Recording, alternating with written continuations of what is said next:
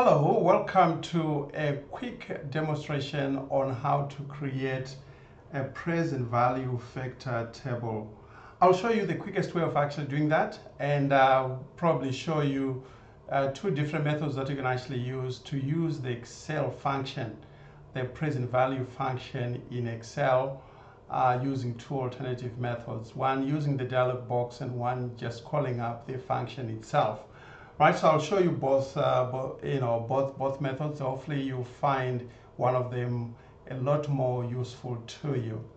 Okay, so what I've done, I've done some preliminary work here just to kind of create the screen so that uh, I can spend more time demonstrating how to actually do it rather than typing in all the introductory information up there. Uh, but uh, just as a background, uh, the present value factor table is also known as the discount factor table in some circles and is a financial tool that is actually used to calculate the present value of future cash flows at different interest rates and time periods. So it helps determine how much a future cash flow is worth in today's dollars. So as you can imagine, it's a very useful tool that one must have handy whenever they are doing those kind of calculations.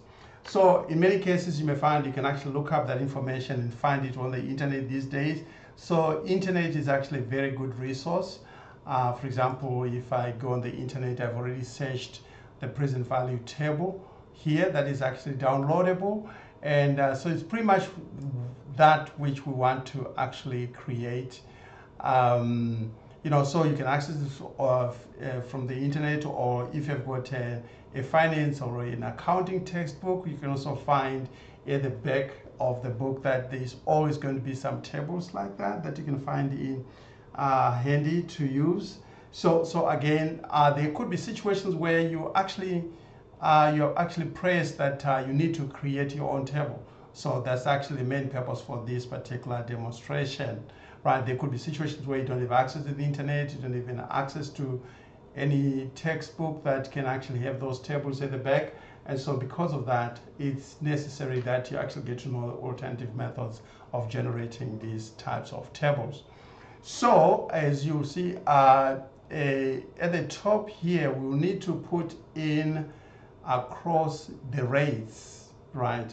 So the rates from 1% upwards. Now I can also show you a shortcut for creating this. So uh, decimal, uh, we can convert this into percentage. And then Excel is so smart that once they've actually introduced some sequence, you can actually use an autofill, right, to drag to the right and it will execute that particular sequence. As you can see, all I had to do was uh, um, I create the first two and then I used, I select them and then uh, uh, Excel was actually able to do the rest. So here I want to go up to about 24%. Then the number of periods, which is the number of years, right? Because whenever we are calculating uh, present value, we are actually looking at a future date. And so we need to factor that into consideration as well. So once again here, I've just uh, typed the first two years and then I'm using the fill handle again and I want to go up to 30 thereabout. That's uh, pretty much the standard practice. But what you tend to find is that when you look at those tables, um, they do not necessarily have all, all, the, all the percentages there, all the rates. Some rates are actually skipped because there's some odd rates that are never used at all by the bank, right? Okay, so once we have actually set up our table like this, we can go ahead and create a formula, a present value formula that we can actually use here to generate uh, the factors. And we just create it once and then we can copy it across and then we can copy it downwards. And again, I'll be able to show you um, why it's possible for you to copy it across and then copy it downwards and while it's actually calculating the correct factors. So here we go. So the first method you could actually use uh, is to call up the function. So you enter the equal sign and then when you type in PV, which is present value, uh, the function is actually called up so we can double click on it like that. And it will pretty much show you uh, what you need to consider as you generate this particular formula. So it's saying what is the rate. So in this particular case, we don't we don't want to hard code the rate. We want to click on it, right? But now what we want to do is that we want to make sure that when we copy this formula across, it's going to maintain the row number, which is the row number five. So we should have we should have a relative referencing or semi-relative referencing where we would want to fix the row number, which is actually number five. You can use the F4 key on your keyboard, which is the function key 4. When you press it once, you can see it puts in, it inserts the dollar signs, which means this is absolutely referenced. If you press again, it removes uh, the absolute referencing from the column, right? We do not want the column to be fixed. We want it to be relative. In other words, we want it to change when I'm copying the formula across but it's the row that we do not want to change. Right, so, so far this is basically what we wanted. So we put in a comma. When we do that, we can see that now the number of periods is now in bold, right, which means that's our next consideration. So the number of periods we know we begin with year number one. Once again, we have to do our um, relative uh, referencing there. So F1 and we want the column to remain the same. So in other words, that A should not change when we copy that formula across or downwards. So we press again, we press again until we see a dollar sign to the left side of the column letter. Then we know we're actually good to go. Then we put in a comma. Now the next thing is saying payment. It's not payment that we need is the future value that we need because remember that we want to calculate the present value of a future value. So we'll put another comma to bypass the PMT, which is the payment. Now that we're on future value, uh, because you want to calculate the factors, we just put in a minus one. Remember that. So even if we were actually using an actual amount, we would still put a minus so that the value, the result is going to be positive. If we do not, Excel by default will make the, the result a negative value. That's the reason why we put a, a minus. We lead whatever we want to put there with a minus. And so minus one means that it's going to be a factor that's going to be calculated, not an actual uh, amount, right? Then we put in a closing parenthesis then we press enter and we can see that we have actually generated uh, the first factor. Now, all we can do now is we can use our autofill or our fill handle here, right? We place our pointer on that square and then our pointer changes into that black thin cross and then we drag to the right up to 24% and then we drag downwards while it's still selected, and we fill up the page just like that, right? So the table is actually created. Now, I did promise that I was going to show you an alternative method. So I can undo, I can undo, right? I'm not scared of undoing what I just did. Now, we want to use a dialog box instead of what we did last time. Last time we entered the equal sign and then type in PV. PV. So we called up the function. Now this time we actually want to uh, use a dialog box uh, so that you can see whether you prefer that method or not. So there's the insert function uh, available out there, that fx. So if you click on it, it opens up this dialog box and so we can look for a PV. If we don't see it, we can just type it in and then we say go it will actually show up for us. But in this case, because I've recently used it, it was actually available already. It was already selected. So you click on that, we go ahead and say, okay. All right. Now we've got a dialog box. Let's see if this is going to be a little bit easier for you. Right, so here says rate, and we know this is actually the rate, and we do exactly the same thing. We want to make sure that the, the row number is not going to change.